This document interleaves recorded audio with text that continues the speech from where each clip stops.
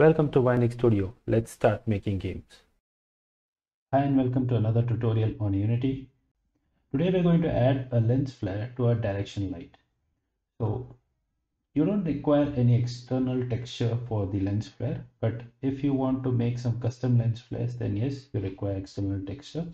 The default material can also be used for making a good looking lens flare. So let's see how. So I have a direction light in my scene and if you don't see the sun you can just rotate to make sure the sun is visible in your camera. Now the size of the sun is dependent on what type of skybox you're using. So the default skybox has a sun of this size.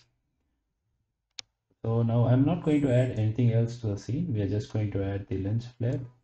So the first step is to create a flare asset so just go to your project window right click create and uh, lens flare lens flare.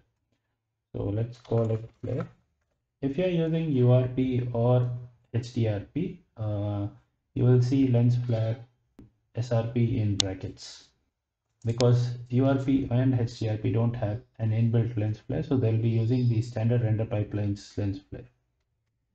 So once it, the flare is selected the first thing you have to do is to set the texture so I don't have any external texture. So if you have any external texture you can use that. Otherwise it's better to go with the default uh, I think the particle or particle texture. And I'm going to set the texture layout to single texture. The element size is basically the number of flares you want. So if you just go to Google and type lens flare you can see the size of the flare is basically increasing as it moves away from the sun we are also going to do the same. So let's go back to unity and we are going to have four flares. And once you click four you can see there are four elements here. The first one is going to be on the sun and the position is going to be zero. So let's increase the size. Uh, you can see that we are not able to preview it. The reason is you have to first set the flare asset to the direction light so click on the direction light and you see a flare option here. Just drag and drop your flare component. So now we are able to preview it. Let's go back to our flare asset. And i guess the size is good enough. Okay so 13 looks good.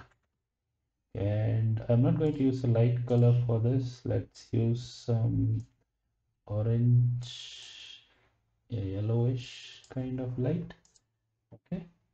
So this is fine. Now next element let's increase the size to may say 4 and let's increase the position. Okay okay okay. Yeah point 2 looks good yeah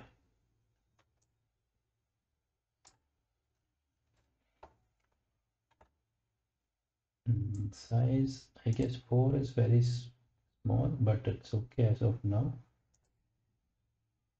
So let's give it a little bluish color bluish white yep. And then let's go to element 2 and this was at point 2 so let's make it point 5 and let's increase the size. Okay there you go nice lens flare. And color. Let it greenish. Okay. And our final lens flare. What was the position? It was 0.5 so let's make it 0.7 and this was size was 6.95 i'm going to make this so that's how my lens flare is going to look.